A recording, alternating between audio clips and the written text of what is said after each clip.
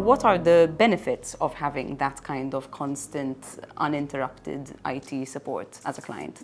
Well, really and truly, I think it's, it, it makes it uh, it's more of an SME, so you know, in startups, maybe medium-sized enterprises as well.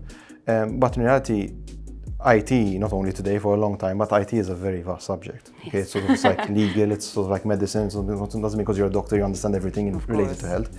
Um, so when it comes to IT, yes, you know, 80% of the time you're going to be using the same skill set, you know, so someone helping up setting up a machine, maybe setting up a new user. Uh, but really and truly, and again, in today's day and age, especially those companies, those SMEs who are um, typically using technology, which is, I, I, would say, most of us.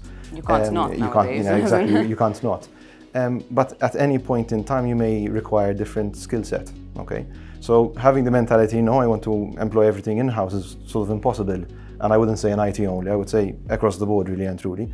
Um, so having that kind of, that level of support where, whereby you can get specialized individuals um, at any given time, at any point in time, um, to perform a specific task um, is, is, is required really and truly. And that is why some, you know, such support is imperative.